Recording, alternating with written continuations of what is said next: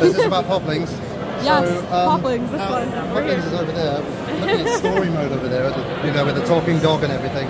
But the idea is that uh, over the time of the game, then the difficulty naturally increases just to try and speed up the game. Otherwise, it will just stall. So uh, that was Oh, no. something we we, we got. We got this Don't feedback. that. We got this feedback last year when we did the beta testing at Gamescom Asia last Uh-huh. year, and that uh, over time it might be sluggish. So we added that me- mechanism. We also made the the throwing of the garbage at each other more intense because it was also quite linear scale from like from the actual trash throwing perspective.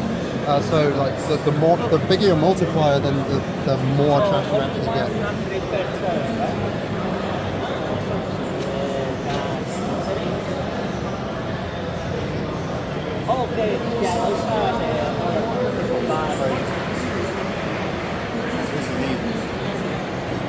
I put mine on easy as well. Okay. Yeah. So I was just like, I wanted to get the feel for it Yeah, yeah. before I dove into it.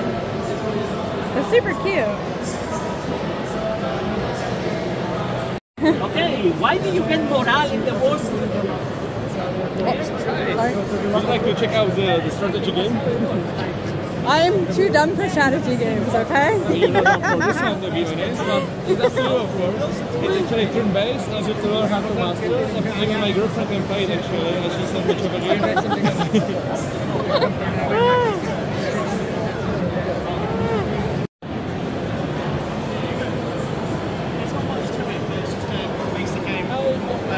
Oh, is Toby showing off his game? Hey, showing off my game?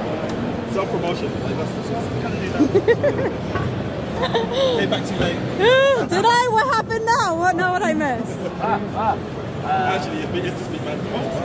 Is the game supposed to blink like that as well? Pardon? The, was the game supposed to blink like that as well, or is that also? No, that, that's a graphical error, but That's a graphical it is, isn't error. it? It you can't solve 100% of the problem. I like how he's just like Fafo. This is how we learn. This is how we learn. It's good.